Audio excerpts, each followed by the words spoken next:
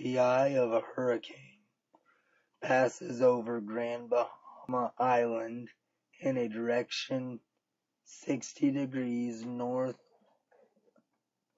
of west with a speed of forty-four kilometers per hour. Three hours later, the course of the hurricane suddenly shifted due north and its speed slows to twenty-two kilometers per hour. How far from Grand Bahama is the hurricane? is the hurricane? 4.4 hours after it passes over the island.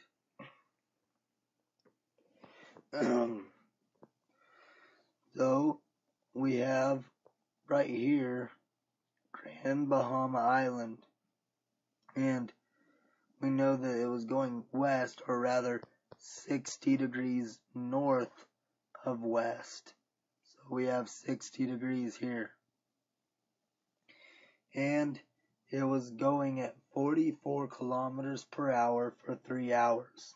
So 44 kilometers per hour for three hours. The hours cancel out and it was 132 kilometers. So it went 132 kilometers. We want to know, and then, um, and then for the next uh, period, it went due north. it went north. Let me draw that better. It went north and it, it went north at 22 kilometers per hour. And it did that. Um, it wants to know after 4.4 hours after it passed over the island. We already got three hours, so we got 1.1.4 hours left. So your hours would cancel out again. 22 times 1.4 is 30.8. So it went another 30.8 mm, uh, kilometers straight north. This is good because we know this is our y-axis. This is only going on the y-axis, It's not moving at all on the x-axis. So we know that y2 equals 30.8. So what does y1 equal? Y1. We can say that sine of 60 degrees equals y1 over 132. that ends up being that y1 equals 114, 114.32. What is x? x2 we've already said there is no x movement. x2 is 0. What is x1? Well, x1 would be cosine of 60 degrees divided by our uh, equals equals our adjacent or our our change in x over 132 which ends up equaling x change in x equals 66.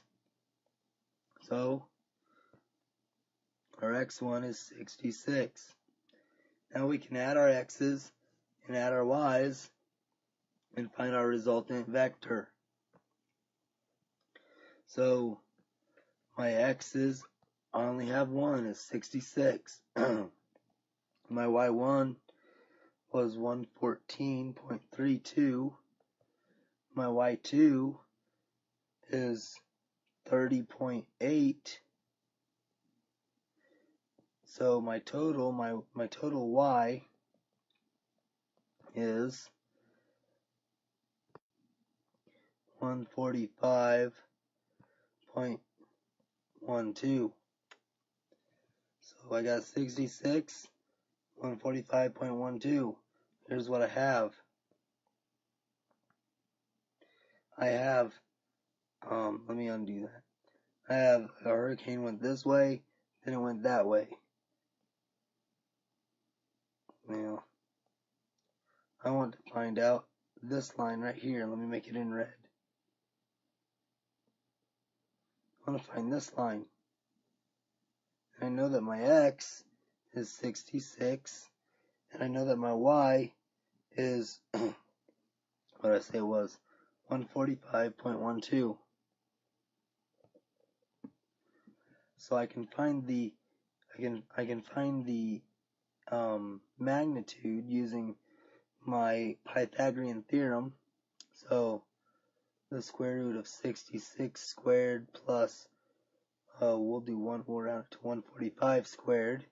That will give me my magnitude, which is, um, 159.42.